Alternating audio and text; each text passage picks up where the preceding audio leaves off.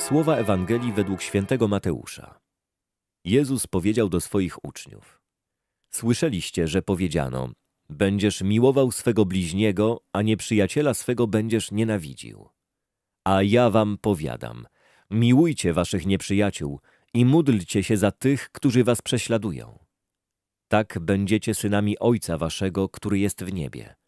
Ponieważ On sprawia, że słońce Jego wschodzi nad złymi i nad dobrymi i On zsyła deszcz na sprawiedliwych i niesprawiedliwych.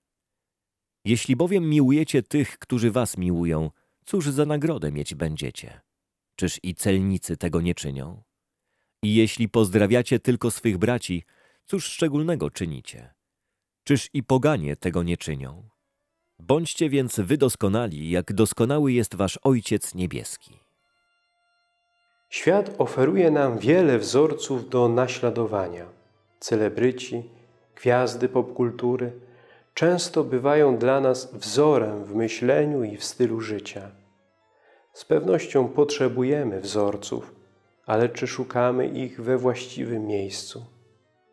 Życie życiem innych ludzi nie przynosi nam prawdziwego szczęścia, a czasem życie celebrytów okazuje się w rzeczywistości zupełnie inne, niż je sobie wyobrażamy.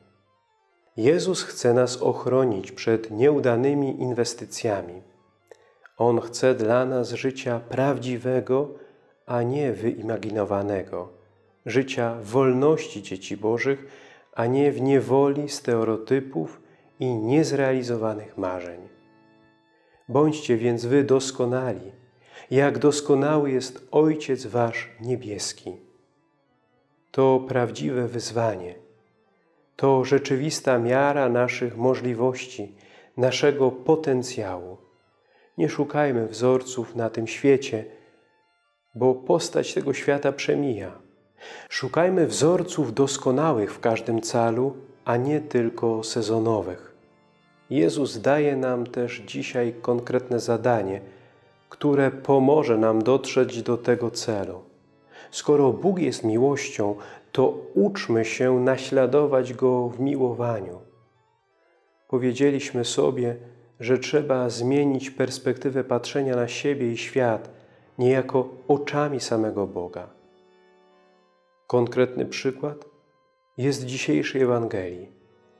Bóg wszystkich ludzi, dobrych i złych, przestrzegających prawa Bożego i lekceważących Go, traktuje tak samo, jak swoje ukochane dzieci.